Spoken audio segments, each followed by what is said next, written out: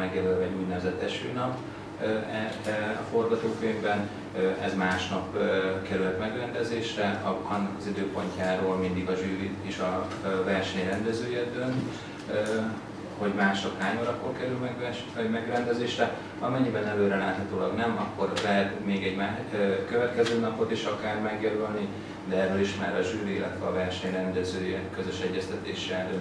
Amennyiben belátható időn belül nem lehet megrendezni, akkor pedig teljesen új időpontot kell megjelölni.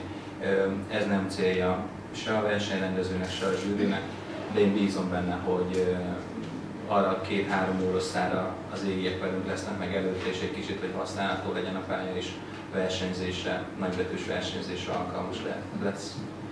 A Debrecen Speedway és a Facebook oldalán a lehető leggyorsabban tájékoztatjuk a, a közönséget arról, hogyha ne legyen valami történet, tehát hogyha elmarad a verseny, vagy új időpontra kerül, és utána természetesen küldjük nektek is a, a legfontosabb információkat.